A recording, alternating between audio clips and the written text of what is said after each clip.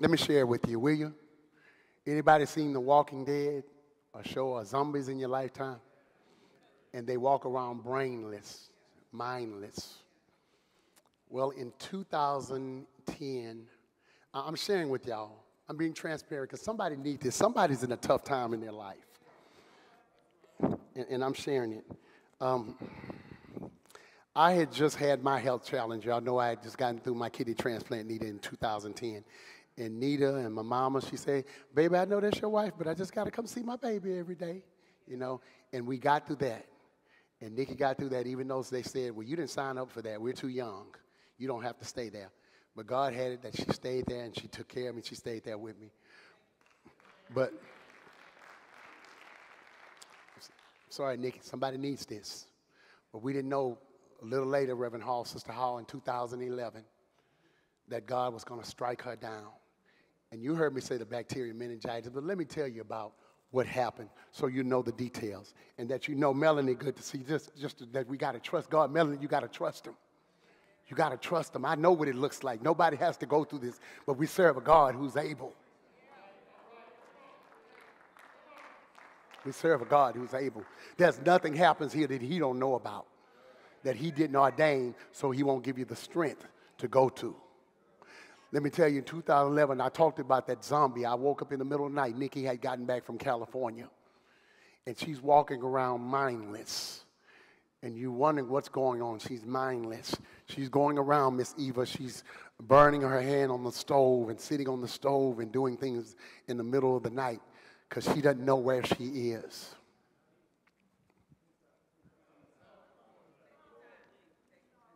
I just know what God can do. She's walking around mindless. She couldn't talk. She couldn't respond, Miss Vivian. She's just walking around the house, walking around the house. And I say, What's wrong? After I found out what's on, I called her mother, Tina. I called her mama, and I said, Mom, Miss Glenda, we need you to come check on Nikki because she's in a bad way. And she came over to the house and we got her. And uh, I had messed up already. I should have had it taken, but I wanted to wait for her mother. That's my baby, but that's her baby too. And we got there. We went to some of y'all. Do y'all know the emergency center, Michael, on 288? We went there. That's the first place we went because I figured we can get in and get past everything. And we went there, and it wasn't too far from where we were. And we went in there, and we sat down. And I remember talking to my daddy. He said, Are you going to trust God? Because my daddy was in the hospital himself. Tess was in the hospital. Our family was going through it at the time. And I talked to Kenny too, I think, but he said, Are you going to trust? This is a good chance. Well, God said, Monica, we talked the other day. God said, Have you considered my servant Job? It's a blessing for him to consider you. I think it was the mayor said he give his toughest soldiers his toughest battles. And he knew what he had for me in the future, so he gave me that journey. And I got to that hospital, and they came in, and they were like aghast. They were like, What is going on here? Nobody knew what was going on with her. She was just walking around. Stephanie, they had to tie her down because she couldn't stop walking around. And they finally put her in the room and they tied her down. She wasn't screaming or anything because she couldn't do anything.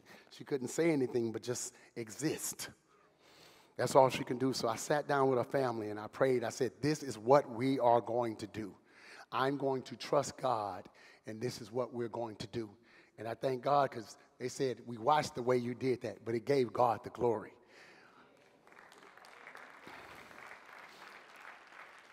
I know it's a little long, but somebody needs to hear this.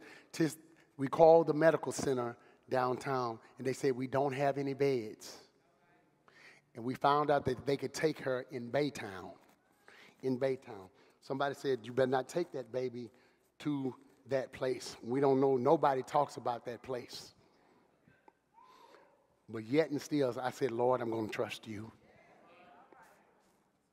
Let me tell you, sometimes also you're going to have, Brother Bless, or you're going to have some naysayers. One of the doctors, Nat, Reverend Goins, came and said, Let that baby go so she won't suffer. Let her go so she won't suffer. She's not going to make it. Let her, let her go. And I just, God didn't tell me let her go. I thank God for a praying mother and a praying father who didn't say let her go.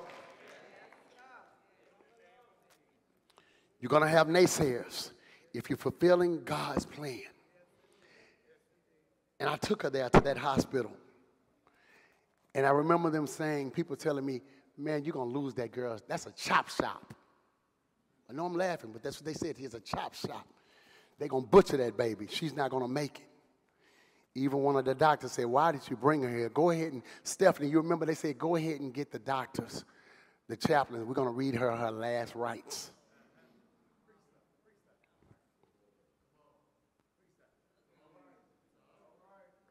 Man, what if you listen to what the world says and you don't listen to what God says? We're reading her last rites. James, her head was to the left because her brain was filled with the mucus. She was in so much pain that they had to put her in a coma. They said she's expiring tonight. But God. But God.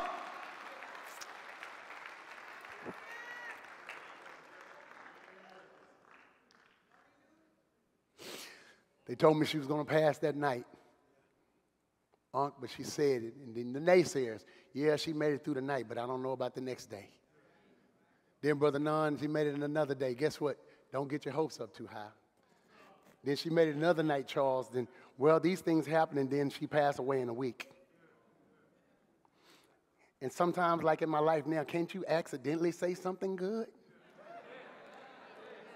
Positive? By accident?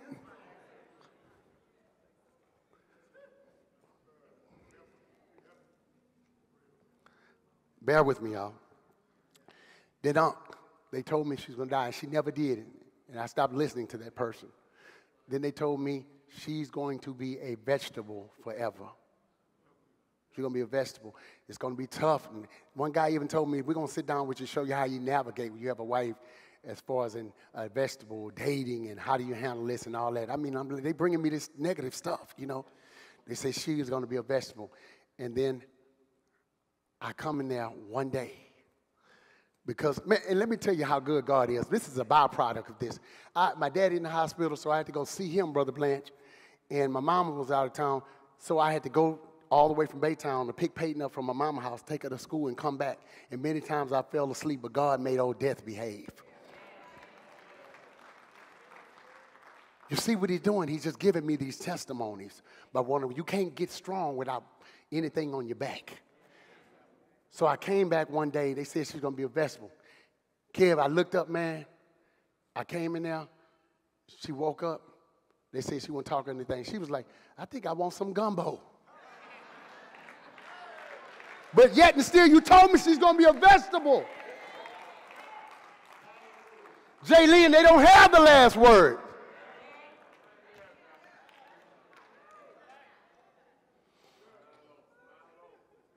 And then the same brother looked like he was trying to one up me. Because then he said that she probably, she's to need rehab. Uh, he said that she probably won't be able to walk again.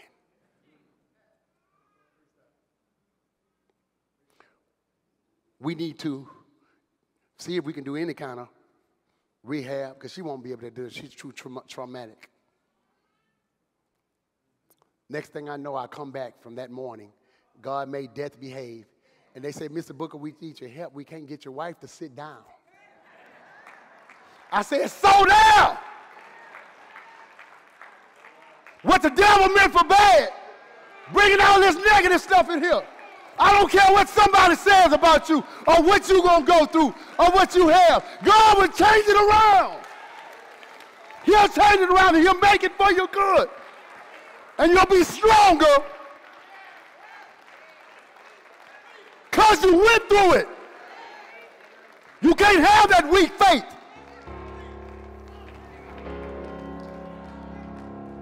Expecting God to do something for you, but you don't want to do nothing. You don't want to trust Him.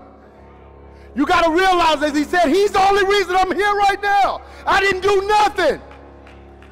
And when you know somebody's been there for you all the time, Brother Pierre, you know what they're doing. He's the same God yesterday, today, And when we get off the scene, he'll be here forevermore.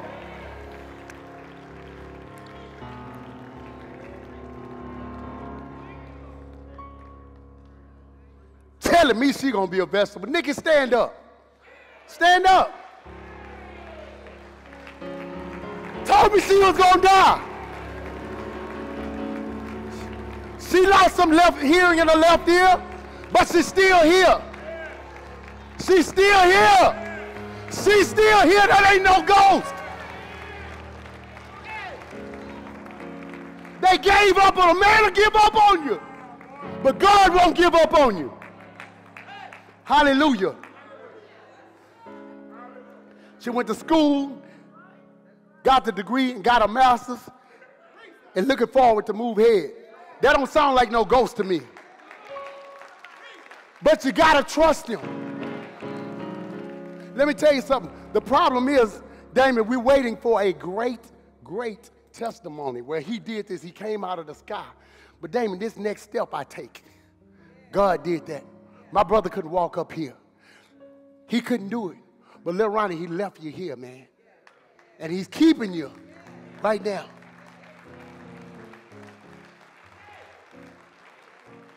Remember that. You hear me, son? God will do it for you. Man can't do nothing. That's why I say we're going to love people here. Because who changed your life? It was God. Wasn't no man in here, no Pharisee, nobody changed your life. It was God. That's why we're going to love each other. God will take care of you. But as I close, let me say, just trust him. Just trust him. I don't care what the naysayers say. Because guess what? He's a, not a baby anymore. He can heal you. He can come see about you. He'll incline his ear. Let me tell you, folks are going to turn you down. But trust him. Folks going to call you everything but a child of God. So I trust him. People going to tell you what you can't do. But you trust him. You're not putting your faith in man or yourself. You're putting your faith in somebody that's greater than